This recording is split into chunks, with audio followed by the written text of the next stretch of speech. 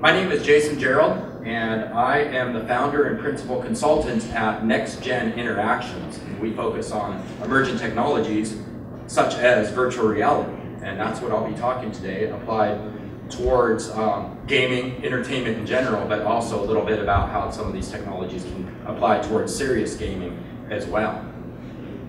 Before I get started, I'm curious, how many of you have um, tried the Oculus Rift? Wow, almost everyone. All right, and how many of you actually are have one that you own yourself?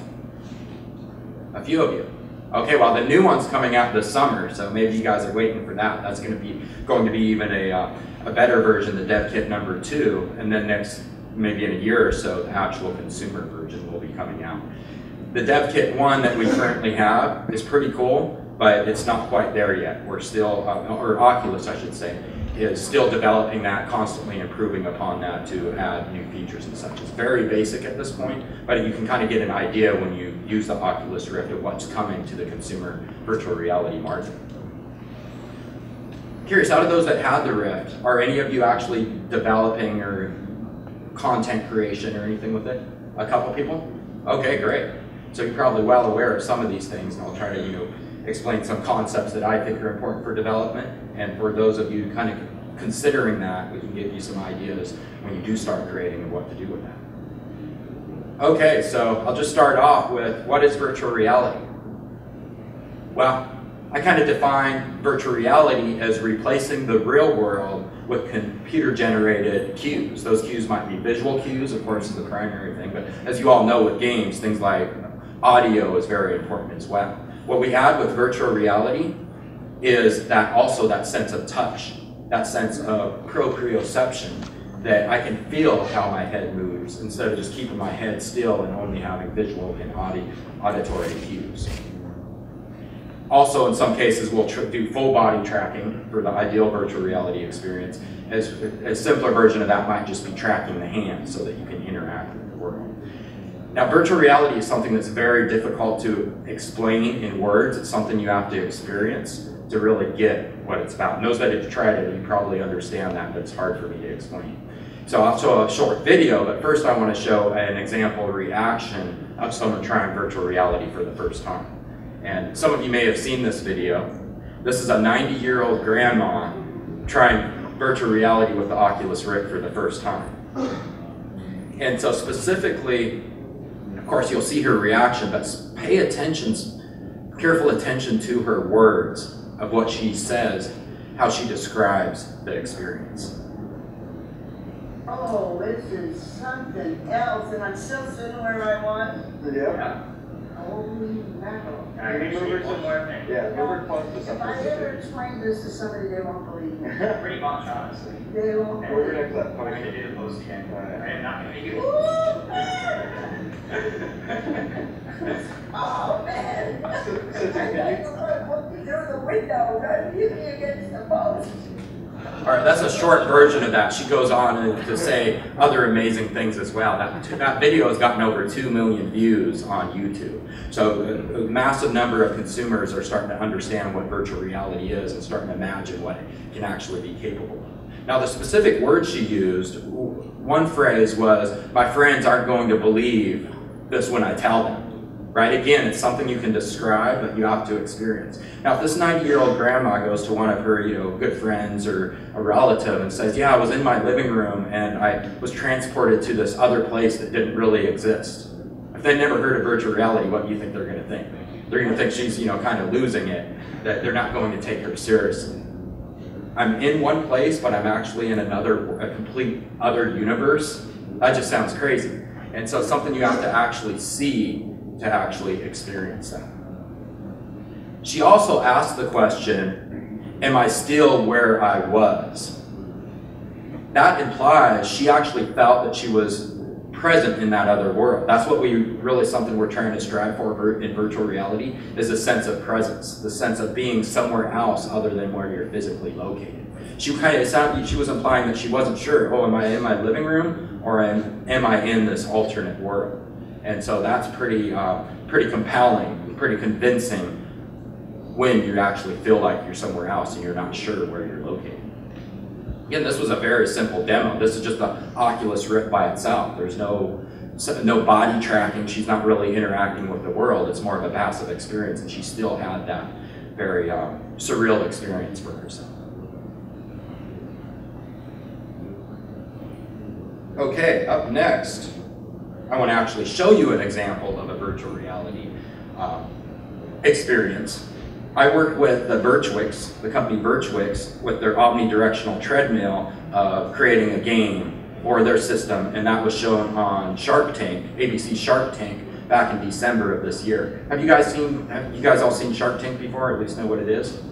Essentially, it's a panel of investors that come on board and people come up, companies come up and pitch their product to try to get investment. The, the Virtuix Omni is an omnidirectional treadmill. So imagine that you're in the gym and you're exercising like you normally do. In some cases, they actually have the, a game in front of you that the faster you run, you can collect points, you can compete with other players and such. That's sort of a traditional, um, I shouldn't say traditional, over the last 10 years or so, companies have been developing these interactive game-like treadmill machines for exercise. This is a little bit different because it's an omnidirectional treadmill, so you can physically turn around 180 degrees if you wish. So imagine that you're, you know, you're fighting the bad guys, then he, he pulls out, they pull out the big guns.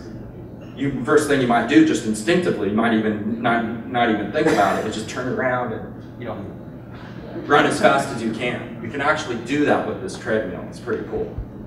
So with that, I'll show a short clip of that show because Jan, the CEO of Virtuix, he really explains virtual reality well. I think maybe perhaps better than I can describe it. So he'll show it and also he'll explain it as well as show it with his words here.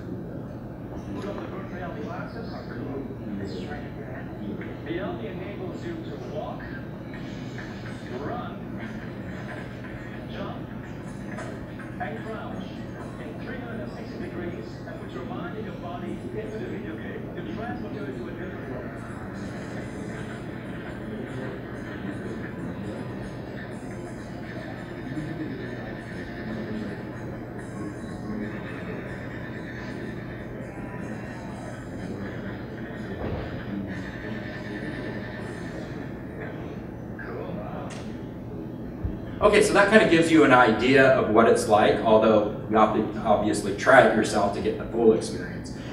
The, shark, the sharks loved what they had, but Jan was asking for far too much money than what they're normally used to investing in.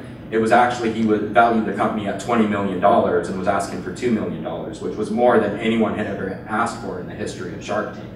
And so they gave him a really hard time, did not invest in Virtuix, and Jan continued on, of course. I just read this morning that Mark Cuban, one of the sharks, was one of the investors that put $3 million into the company. So they're finally starting to believe that this is actually taking off and it's becoming real. Whereas, you know, just a few months ago, they didn't believe this would actually take off. It may have something to do with the Facebook acquisition of Oculus for $2 billion. I suspect that he got very interested at that. So some of, I know some people have been kind of upset thinking, well, Facebook, what do they have to do with virtual reality? Well, it's now nothing other than they bought Oculus. It's actually, I believe very strongly, it's a very good thing, even if it is Facebook. The reason for that is because it gives credibility to what we do with virtual reality, and now other investors are going to be able to come in and provide funding so that we're able to really make these experiences the best we can be. We can only do so much kind of in our spare time if we can actually, you know, get funding to you know build studios and such that you all have the capability to do, it will be much easier to do that because Facebook has basically validated the market. As well as others such as Sony recently announced a head-mounted display that will be coming on the market soon. And plenty of other companies as well. Lots of head-mounted displays are coming out on the market. A little bit of history. Here is what I call old school virtual reality. This is a project that we worked with General Motors on about 15 years ago in something called a, a, a cave. A cave is a very different type of display than a head-mounted display. A cave is actually a physical room. You can actually see the edges of the walls. These are walls. This is the front wall. This is the side. And this is the floor of the room that you actually sit in and the stereoscopic images are projected onto those walls. You have head tracking, so the system knows where you're looking and how you move your head and such. It's a very compelling experience. You actually feel like you're you're in that automobile here instead of in a room with images on the walls. The walls actually start to disappear because you're seeing that in, in each eye is seeing a different image, and so you have this sense of, of depth, kind of like a, um, a 3D television, except you're completely surrounded by that. And I show this because this is an example of where virtual reality has been, but it wasn't available in the living room, right? You couldn't put this display in your living room. There were other head-mounted displays, they were sometimes $100,000 or more, so it wasn't going to be in your living room unless you were well, someone like Mark Cuban, maybe he had it in his living room. But most of us didn't have access to it. Now we can have access to that. It doesn't cost, these systems started at somewhere around 500 million, uh, $500,000, not 500 million, that'd be a bit extensive. But in other cases, they completely have designed the buildings to go around these caves. Very expensive that not all of us have, access to. So this is a very exciting time for us as that are indie developers and such because anyone is now able to develop these virtual reality experiences. Now, head-mounted displays, that's exactly what an Oculus Rift is, is this display you put on your face. It's tracked so you can look around so you're completely surrounded by the virtual world. That's not a new thing. Oculus, they've done it very well. They've, uh, I, they're doing amazing things. I was a little skeptical when they first came out because I knew how hard of a problem it was, but they've proven over and over again that they're doing things right, right and creating a very compelling hardware as well as software. And so I'm very happy that what they've done with virtual reality to bring it to the masses. Head-mounted displays actually have been around for quite a while. I just saw Steve Ellis of uh, NASA Ames Research Center. He had this slide at the IEEE Virtual Reality Conference a couple weeks ago, and he claimed, it's, it's kind of commonly uh, quoted that Ivan Sutherland at the University of Utah back in the 60s created the first head-mounted display. That's, what, 40 or 50 years ago? But it actually goes back further than that, according to Steve Ellis. He traced it back, and he also claims that it goes back all the way back to Galileo. He created the first head-mounted display in order to determine his location when, you know, for navigating ships and such. And so this has been around quite a while and is continuing to evolve. Oculus has just taken it to the next level and brought it to the masses and done it very well. And also the technology is starting to catch up, so it's at an affordable price now so that we can all have access to it. So these virtual realities have been around a while. However, we haven't all had access to it to a massive number of developers. It's often consisted of programmer art or scientific visualization that doesn't have that aesthetic appeal that we have, that a lot of people in this room have as game developers.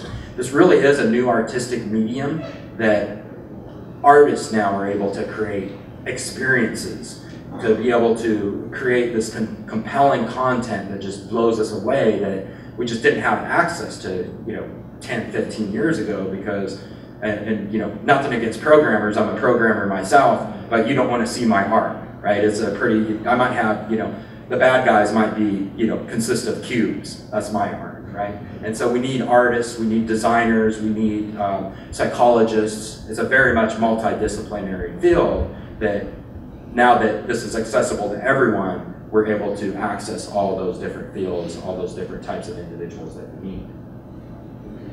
And why I say it's new is because this is completely different than traditional video games. The screen completely disappears. So you start you stop perceiving this display that's fixed in space out in front of you. With a wide field of view, you kind of lose yourself and you don't even pay attention anymore to the edges of the screen once you get really engaged in the game. And you can, you know, as I mentioned earlier, you can completely turn around. And so that you're just in the world instead of looking into a window into the virtual world. You're completely immersed in it. And because of that, a lot of concepts in traditional video game design no longer apply. We have to rethink that entire process. And so the best virtual reality games will be designed from the beginning for virtual reality. And so some companies have ported some of their existing games to the Oculus Rift, for example, which is good. That's important because we got to start somewhere. But to really make those games compelling, we have to start from the beginning. And part of the reason for that is something called uh, simulator sickness that I'll be talking a little bit later. Similar to uh, car sickness or going on a carnival ride some people are just going to get sick because it's a very intense experience and there's some uh, physiological things going on in the human body that we can't solve technically. And so we have to be very careful how we design the games and keep those, you know, thoughts in our minds. I know um, some games that have been ported to the Oculus Rift, you know, the character in a regular game, it's okay if your character runs at 20 miles an hour. But in virtual reality, if you run at 20 miles an hour, something's not going to be right. Or 2D text on a display screen now needs to be true 3D. You, can, you can't have like occlusion issues the text going through walls and such. And so those are things we need to think about. Now today, Oculus is doing a very good job of selling the technology as well as some of the other companies. However, one of the reasons why Oculus is so successful is because they're selling the story. They're selling the excitement. They're selling the emotion of what virtual reality can bring us. And that's one of the reasons why they're doing so well.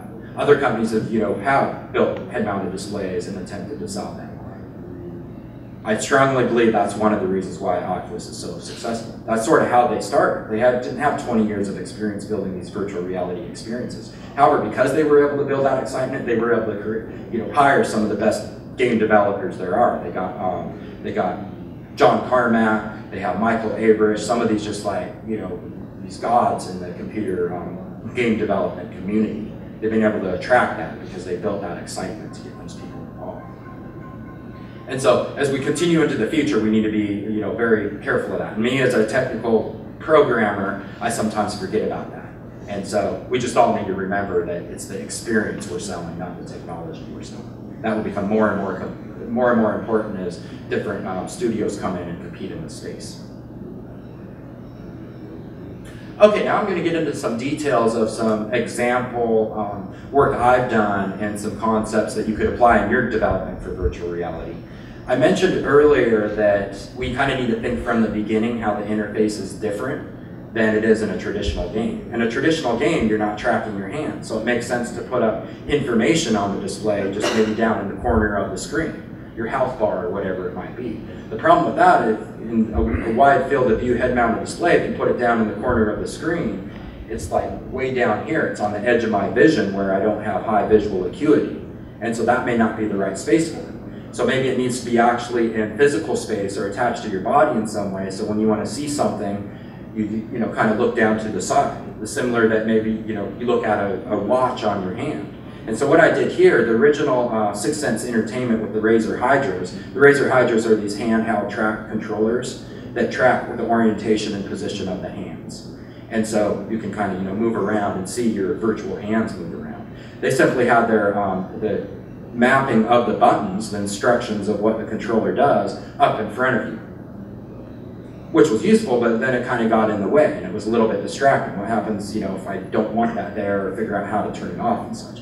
So what I did here was just extremely simple. I mean, this literally took 10 minutes to do. So there's nothing complicated about these things, but you know, sometimes in, in well, almost all the time in design, if you can take something complicated and simplify it to its simplest forms, that's where the real power comes, where anyone's able to use that and making something complicated very simple. So all I did was I took those mappings that normally came up in front of your screen, split the image in half, so I had an image of uh, the mappings for the left hand, the right hand, and then I attached them to the hands, and now wherever I move the hands, my hand's here, so it makes sense, okay, if I want to see what the mapping does for this button where my thumb approximately is, then I just, you know, label where that thumb approximately is, so I look at my hand, and now I know what that thumb button does. And so that way you can be able to just, you know, look down where the interface is instead of this kind of indirect mapping.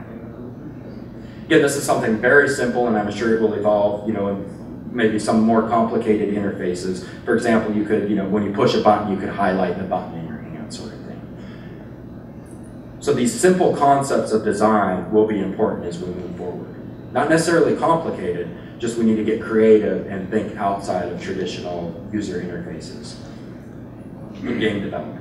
Oh, another thing I forgot to mention here that's very important is you can see the user sees some sort of body. Well, it's not like that body's on a screen out in front of the user. Remember, the screen kind of disappears. You're immersed in the world. You're surrounded by the data. Well, my lower body, my legs, is part of that immersion. I look down, and I see my own feet in the approximate location where my feet are. And it turns out that's extremely compelling, especially for uh, something called presence that Oculus and others often talk about, that sense of being there. Well, if you just have this viewpoint, this camera floating through space, not attached to a body, it's very weird to look down and not see anything. It's like you're just kind of floating in space somewhere. So if you just have even a rough approximation of where the body is, that's extremely compelling. And then if you have the tracked hands, such as in this case, when you see this, even those hands don't need to be photorealistic. Just, they don't need to be the same color of your skin. You don't have to have the same color of jeans on. To be able to see your body move around as if it's that same location of your body, it's a complete different experience. And that causes people to get that sense of presence, to really feel like you're taking on being that character, being that avatar. Okay, we'll move on. Another, to even add more onto that is to have these avatars. If you're tracking the, you know, even if you're simply tracking the head, the hands, and perhaps you're tracking where the head's looking, such as you can do with the Oculus Rift, that can be extremely compelling as well because now you have this sort of natural communication via very subtle body language. You don't have to think about, oh, I want to push, you know, what was the what was the button to surrender again? You don't have to think about that. Maybe you just hold up your hands. And so, for example, here, this is uh, my colleague Paul. He's the other character, and when I shoot the gun at him, he's like, "Whoa!" You know, I, I surrender. He just does it automatically. He might not even be thinking about that. And for example, head tracking is another thing. Very subtle cues that you don't even think about maybe in a, a regular game. That sense of eye contact, even though we're not tracking the eyes, not yet anyway. That where is the head looking can be very compelling. So if they're looking in your direction, you know they're looking in your direction.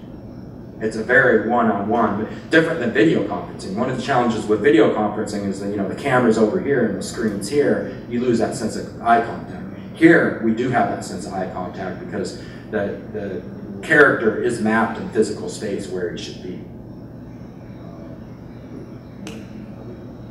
Okay, I mentioned earlier a little bit about simulator sickness. That's one of the real challenges of virtual reality. Just like um, the carnival rides that I mentioned. Some people it's not appropriate and they know they can't go on carnival rides. And maybe if they do it more and more, they can become accustomed to that and such. But what we can do is we can reduce that simulator sickness as much as possible. We can do things smart, we can be careful of the technology, we can be careful of the interface. All those things we need to be very aware of. If you, for example, if you have a low frame rate, in a game, it's a, a traditional game, it's a little bit annoying. In virtual reality, if you're only rendering at 30 frames per second, it's not just annoying, it can make you physically sick. The reason for that is because the system thinks I'm looking over here, but a split second later I'm looking over here, but it's still displaying what I was looking over there. Your brain gets confused. The reason why it gets confused is because we have a sense of balance in our inner ear called the vestibular system. It's that sense of balance, that sense of uh, deceleration, acceleration. If those kind of subtle cues of balance don't match what my eyeballs are seeing, then the brain gets very confused. And it says, wait a second, something's wrong here. Maybe I, from an evolutionary point of view, maybe I, you know, ate some bad berries that were poisonous. Now I better, you know, eject that out of my system and, you know, get sick. That's one, you know, theory of why that's the case. But it's really all it is, is, is a sensory cue conflict of your different senses being out of sync with each other. And that can cause simulator. So we understand the basics of simulator sickness, but this is very much an open, open research at this point of understanding it better. One of the challenges of understanding simulator sickness is the biggest factor in simulator sickness is the individual. Some things that I do, for example, I can you know virtually back up with my controller in virtual reality and I feel fine, or I can strafe to the left or right. I feel fine. Other people, sometimes that makes them sick. And maybe they can do some things that make me sick, but don't make them sick. And so that's one of the real challenges is they can very much be an individual, in some individuals, simulator sickness affects them in different ways. Now there's a blue arrow here that I want to talk about. What is that blue arrow? I, it's part of the interface, but it's not so much part of the interface as, this is um, maybe a bold claim, but that blue arrow helps reduce simulator sickness. What does that mean? It's all it is is a blue arrow. It's nothing complicated, right? There's no complicated algorithm here to understand. That's just a blue arrow out in the world. What it is, and I, this was me playing around. I didn't know if it would work, but I kind of had the idea. I realized that some virtual reality experiences are in a, say it's a driving game, or you're in some sort of cockpit. Well, that cockpit in the game is a stable world reference cue. No matter which way I look, or no matter how I move forward, that cockpit is always going to be in the same position relative to my body. Right? If I fly forward, the world outside the window moves forward, but the cockpit stays in place. That cockpit is actually stabilized. It's a real world reference cue. No matter what I do, it's always physically in front of me. It's the same location as the physical keyboard. And that helps. That is, those are good games to develop for because people don't get nearly as, as sick in those systems because it's just like the real world, like I was like I'd be sitting in a car. And also the periphery, the wide field of view, we tend to have that sense of vection more when something moves in the periphery versus our central part of our field of view. Vection is, uh, if any of you have been sitting in a parking lot, maybe you're kind of looking down or something, then a bus or something moves in your periphery, and you kind of, you feel that sense, whoa, whoa, what happened? You actually feel that sense of self-motion even though you didn't move. That's an illusion. The same thing happens, happens with uh, virtual reality. When something moves in your periphery or the entire field of view moves, you get that same sense of vection, which kind of makes you feel a little bit funny and continue doing that through the simulator scenes. So this blue arrow, I thought, okay, a first-person shooter is not appropriate to have a cockpit because it'd be weird. I guess maybe if you're a mech bot or something, it might make sense. But just if you're walking around, you can't have a cockpit around. So I thought, what if I could add some sort of artificial um, real world reference cues that are stable in the physical space? Would that help reduce simulator scenes? And for me, it made much more, a bigger impact than I thought.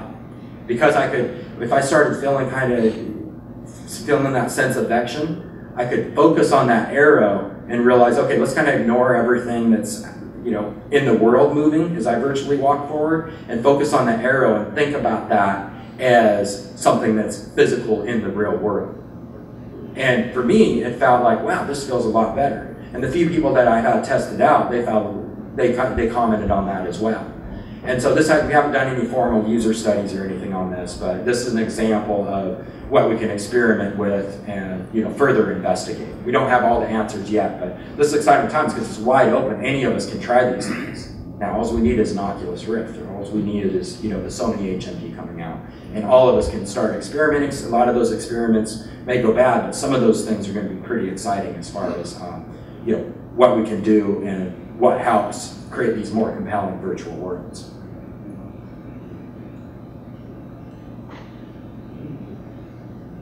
Okay, another topic is something called coordinate systems. And all of you that have developed for you know traditional video games, you understand that you have these different coordinate systems, right? You have the camera coordinate system, you have the world coordinate system. Virtual reality is no different. In this game I have, I'm showing here, this, you can see several different things. It's a little confusing again without trying it because it's something you have to actually experience. And so while it's a little difficult to describe, when you see it, you kind of get it immediately. What are these different visual cues that are just you know more than the, the word? And so again, you see the blue arrows. You can see I added more blue arrows, and that was us saying is that's what, what the forward direction is. That is what that physical representation is. So as I move around, you have this sort of uh, real world reference cue to reduce that simulator scenes. Adding more of those blue arrows, and now this is just kind of the direction my physical torso is facing, so I know which way's forward. Oh, one thing I forgot to mention is some people mention that, you know, for example, Oculus, they suggest that move the player in the direction you're looking. So if I push the controller forward, if I'm facing this way, then move this way. However, if I turn my head this way, then move this way. That's fine, but when you add an avatar where you're actually seeing your own body, that becomes very weird because if I turn my head like this, what happens to your torso? Your torso is still facing this way. But what does the avatar move this way when you only moved your head It's sort of an unknown. In my case, I said, let's always assume the torso is facing this way, and I can look down and see my body, my torso is still forward, but I'm looking to the left. Now I can walk in this direction instead of looking in this direction. And then there's no, it, it's a little bit better as far as the representation of the, uh, the, your own body when you look down. Just like, it's more like the real world. So these blue arrows, you're not actually looking down, always looking down at your body. So instead I put, another reason I put these blue arrows, so you always have an idea of which direction your torso is. So now when I push the controller forward, I realize, okay, even though I'm facing this way, the blue arrows are in this direction. So my mind just gets accustomed to saying, to thinking, oh, okay, forward is in the direction of the arrows, not necessarily the direction I'm looking. That gives you more control so you can look all around as you're moving throughout. So that's one example of um, a coordinate system, which is just the what I call the body-centric coordinate system. Which way is my torso facing? Of course, we also have the, the game coordinate system, right? You all know that from the games. Which way is north?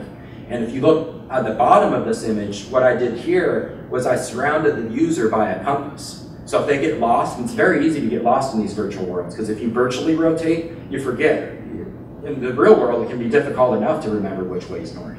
But in virtual worlds, you become lost very easily, especially in more complicated maps. In this virtual world I have here, I completely, I forget where things were, even though I created the map. And so having that compass allows you to better be able to create that cognitive map of, okay, what is this, what is this world like? I'm trying to head in the northern direction, but if I rotate, you know, all around virtually, I forget which way is north. And so you can kind of just look down and see the, the game world coordinate system and remember, oh, I'm heading north. I just need to always kind of go in the direction of this um, compass that I'm looking down that I'm surrounded by. Another coordinate system, of course, is the hand coordinate system. If we're doing hand tracking, such as the image I showed earlier, then you might have the user interface attached to that coordinate system. Another coordinate system I have in this example, because I'm not doing hand tracking in this case, I'm, I'm tracking the head. Which way am I looking? Well, this is a head-centric coordinate system. This kind of transparent target area there. So you know, if you want to target, here the lasers shoot out from, as if you know your eyes are shooting out a laser from your eye. And so you're able to you know target things in the world that way. So that's yet another coordinate system that when we're designing, we have to think about how these how all these coordinate systems work together. However, when the user gets in there, they get it immediately because it's like a real world helmet.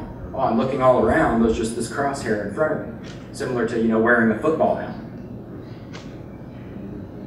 And so these coordinate systems kind of maybe are a little bit hard to think about as we're developing, but when the user gets in there, they just get it automatically. Oh, okay, this is the compass, this is the blue arrows, I'm facing this way, these are my hands. It's sort of this very natural sort of user interface. Okay, being that this is a serious games track, I had to put in this image here for a, a serious game that we're working on. We're working with the National Institute of Health on a, a educational game for kids. This is uh, grades three through five, actually putting the kids into the game physically. And so imagine being able to physically crawl through a body to explore different, you know, different organs and such within the body. And so now, now it's no longer just a game of these visual and auditory cues. We have that uh, kinesthetic cue, that sense of your arms actually moving around because we're using the Sixense Razer Hydras in order to track the hand. So you can kind of, you know, crawl around physically with your hands. And we believe that by actually putting the, the kids in the game, now they're learning physically the same way that they, you know, play. And this is applied specifically to neuroscience education, which can be kind of a very abstract thing, especially for kids. But we believe if we, you know, physically put them in something, then they're, you know, remember much better. After all, we're competing with all the great games you guys are creating. So we have to really, you know, what is the next thing to really, you know, get these kids engaged in the games. And the real idea behind this is this is applied towards, on, as I mentioned, neuroscience education. And so it's not just necessarily, you know, remember what organ this is and what is it is called. I'm personally interested in more higher level concepts versus just memorizing different parts of the body. And so in this game, we're shooting to teach kind of self-awareness of our own thoughts, of our own actions. So imagine, and this is could be useful for us as adults as well. Imagine, you know, teaching kids that, you know, when something happens in the world, say you get bullied or you get teased or something to that effect, imagine kids being able to step back and realize, oh, you know, I'm having this audit, some stimulus happened in the world, and I'm having this sort of automatic response. Then realizing, oh, that's just the, you know, my amygdala, or that's, you know, some part of my brain reacting in a certain way. However, then realizing, oh, wow, this is happening again. And then realizing, you know, that is happening, that's my automatic response, but because now I'm aware of it, I can step back and say, you know, maybe that response isn't the most, isn't appropriate in this situation. Maybe it would be more empowering to be able to choose something different, to react different, you know, to call the bully out on what he's doing, or, you know, whatever that might be, given the specific situation. So being able to, you know, become, help them become more aware of their own thoughts, of, you know, how their brains work and such. Okay, that kind of sums up what, um, or this slide kind of sums up what we talked about, that there's lots of things to think about from a design point of view, from a technical implementation point of view, of, you know, creating that compelling art and how to actually, it's very important to embed things in the world and think about things as if they were real world objects, make it as real as possible, but then continue beyond what you can do in reality. You know, you, in reality, we don't have this, you know, interface in the world that you can reach out and touch things or you know manipulate objects at a distance. is you know like magic. But first we have to make it to be the real world so that it behaves like the real world. Otherwise, there'll be challenges with uh, simulator sickness and such. Now, the IEEE Virtual Reality Conference a couple weeks ago, uh, one of my um, one of my mentors, he gave the keynote about virtual reality. And he was so excited about the Facebook acquisition because that validated, you know, what he's been doing for just forever, since the early 80s working on virtual reality. And he saw that as this validates what we've been doing for you know a very long time, and now people are taking this seriously. Now there's going to be you know you guys out there also contributing to what we're doing, and to be able to bring in funding, to be able to get people excited, to bring this to you know where to where the entire world will be able to eventually experience it. So he was super excited, and what was really inspiring is what he said about few people, whatever their career is, if they're in biotech, if they're, you know, have a desk job, whatever it might be, they're doing sort of these iterative changes. These, you know, they're improving things, but it's a very slow pace because it's very complicated. These technologies have been out in the market for a while. But with virtual reality, it's something brand new, at least outside of the research field. It's open to anyone. That we really do have the opportunity to change the world, to you know, teach the serious game concepts, for example, or just you know entertainment uh, purposes. To have something that you know will remember, like the grandma remembered that said, you know, one, one thing she said is, "I'm going to remember this the rest of my life," even though she was 90 years old. That people will remember these experiences of offering these compelling, sort of engaging stories, maybe you know applying how that applies to their real life. It's just completely wide open. We have, you know, a major opportunity there. And Palmer Luckey, 20 years old, right, when he started Oculus two years ago. He didn't have 20 years of experience. He didn't have, you know, a bunch of advanced degrees. He was able to create that because he was able to access the technology that's available now at an affordable price. And if in two years he can create what he's created, what's stopping us from doing, you know, creating great things ourselves? So if a 20 year old kid can do it, what about us as a community all coming together? We have that opportunity. And what, um, what Dr. Fuchs said as well, he said, let's not blow it, right? Let's uh, try to do this right. Let's be passionate about what we're doing. Let's create these worlds some of us have been dreaming of for about 20 years. Okay, with that, I'd like to mention some upcoming events that I'll be participating in. Um, here in about, what is that, about two weeks ago, well, two weeks away, I'm sorry, we'll be at the Neurogaming Conference in San Francisco. And the idea there is to take neuroscience concepts such as, you know, sensing EEG sensors and such, and you know, sensing what the brain is actually doing, and what can we do to incorporate, to integrate together virtual reality technologies with neuroscience technologies that is a completely wide open field. There's some people that have been playing around with it, but something that's wide open. I saw a talk a couple weeks ago where it was a virtual mirror, virtual reality, augmented reality sort of experience. You looked in the mirror the player had the sensors on his head. He looked in the mirror, saw a virtual representation of himself, and the sensors would read what you know what different parts of his brains were being activated. He could look in the mirror, and as he could watch, actually watch his thoughts occur, overlaid on his brain in the mirror. Right? That's like one of the, again, pretty simple, but just one of the coolest things. Like, wow, I never thought of that. You know, any of us could have done that. Pretty cool stuff.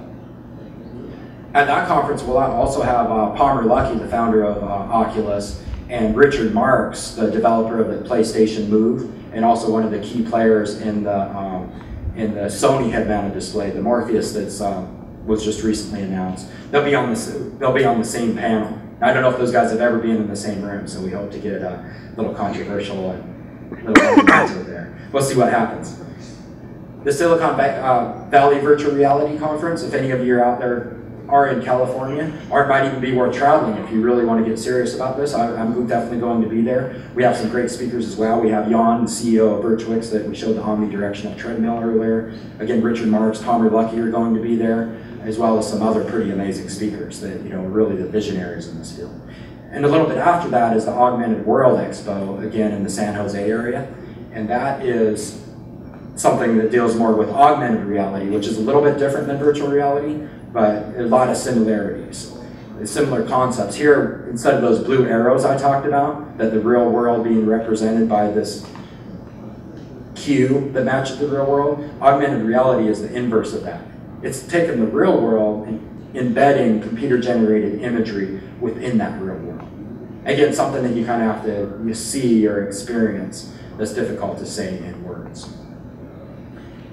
And lastly, this has not formally been announced yet, but at SIGGRAPH in Vancouver this year, we're actually, um, I'm working with the committee now on putting together a panel of some of these leading experts in virtual reality to make virtual reality is on par with the keynote of the conference. It's going to be a primary theme of the conference this year that we're going to have some big speakers there. And what may be even more interesting to this audience is that we're putting together a contest where different people can submit their material of virtual reality experiences, whether they've been working on them the entire year, and we still have some time left, right? This is until August. And so if you believe you have some really compelling ideas for virtual reality, you'll be able to submit to that and we'll be, you know, have a panel of judges looking at those submissions and the best experiences.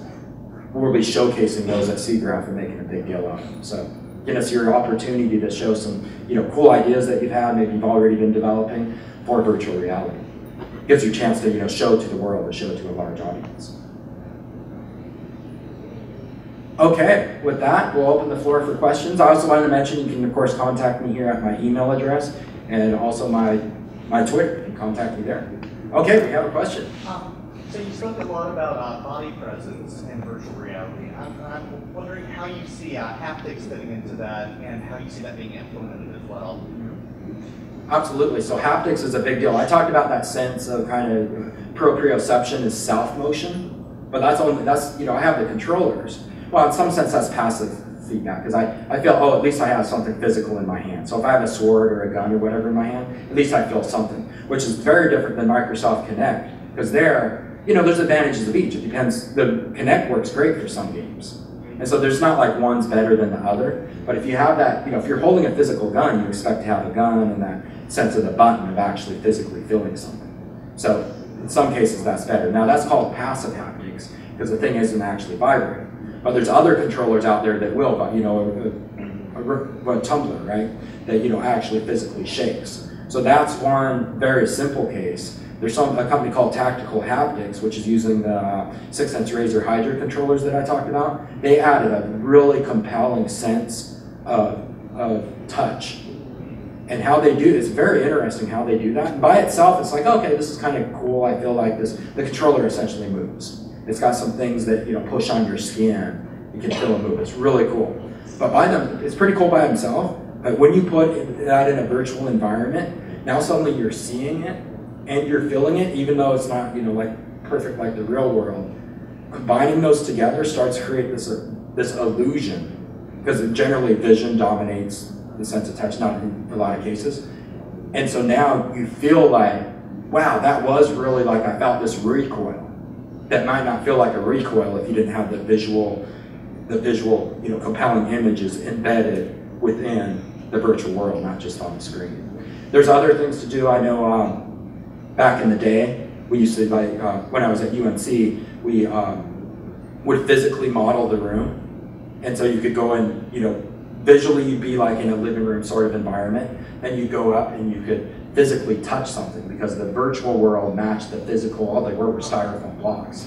You'd go up and you'd be like, okay, this is pretty cool, and it was a track space, so you could physically walk around in like a 20 by 10 feet area. And then you're like, okay, this is pretty cool. Then we say, okay, well, you know, reach out and touch the table. And they do that, then they kind of freak out. They go, whoa, this really is real. And then they started to believe that, they touch other things. And then what we did is we um, said, okay, now let's walk into the next room. So they physically walk into the next room, and they look down, and there'd be a big hole in the floor.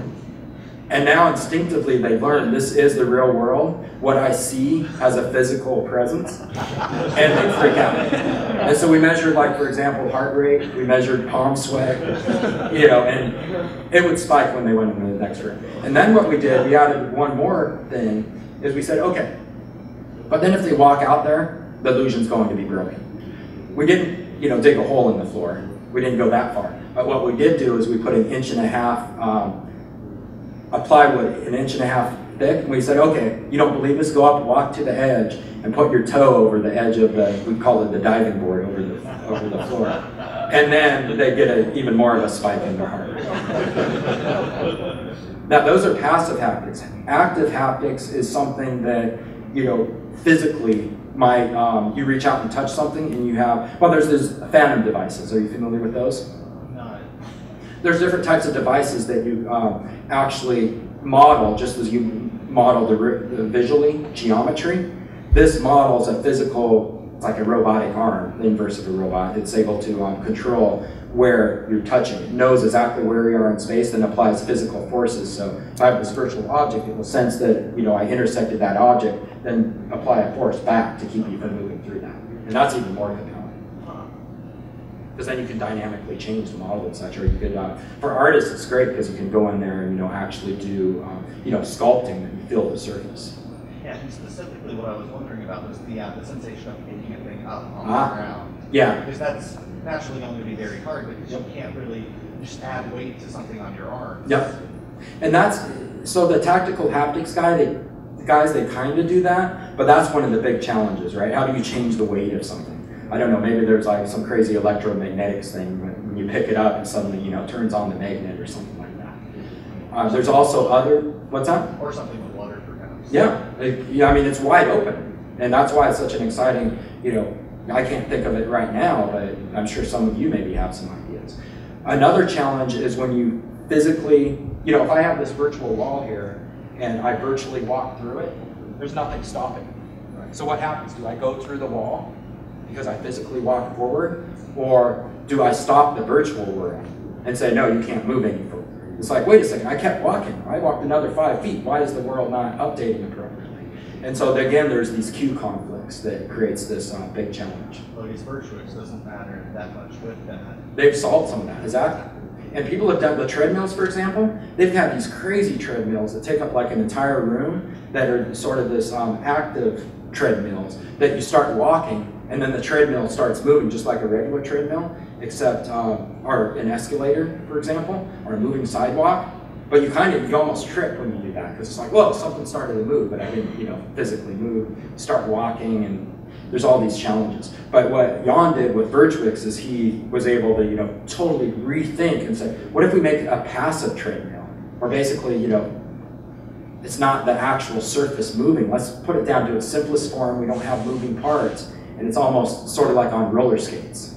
It's kind of what it feels like. Not quite like real walking, but maybe that's okay. Maybe that's better than these, you know, huge, expensive mechanical systems. Any other questions? There we go.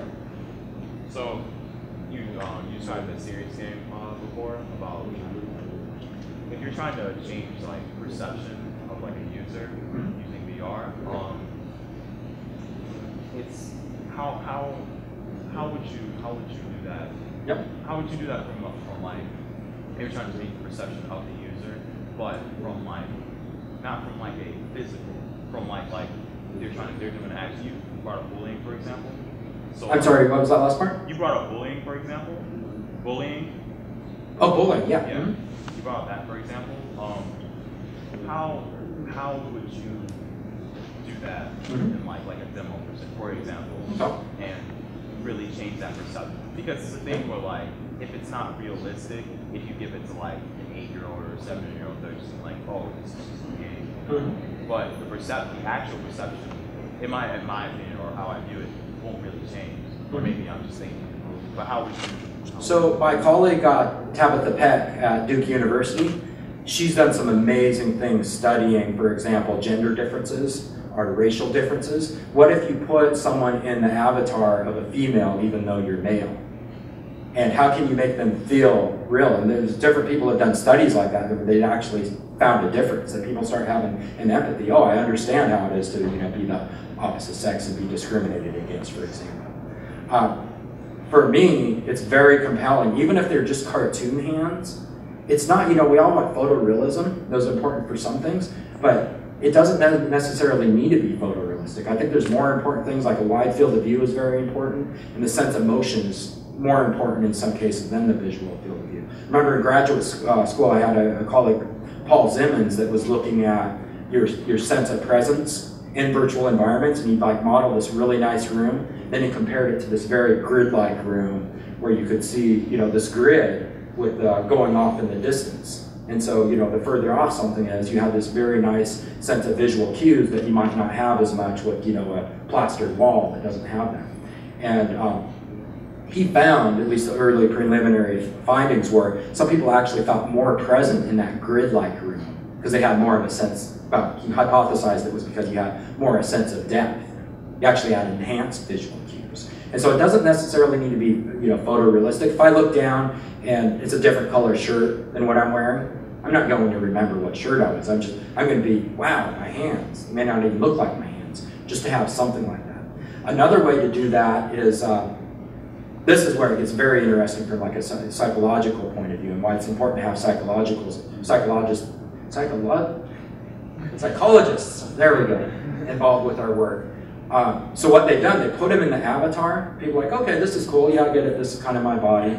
And part of that is you don't always look at your body, right? So they'll have like virtual mirrors that you can see yourself, as well look down and see your own body. What they also did is they said, okay, here's a virtual feather. Now we're going to, you know, touch your arm with this feather. Get back to your question about haptics, not a very, you know, technically advanced form of haptics, but the uh, researcher would then come up and have a real feather and rub their arm with wi- real feather as the virtual feather did the same thing.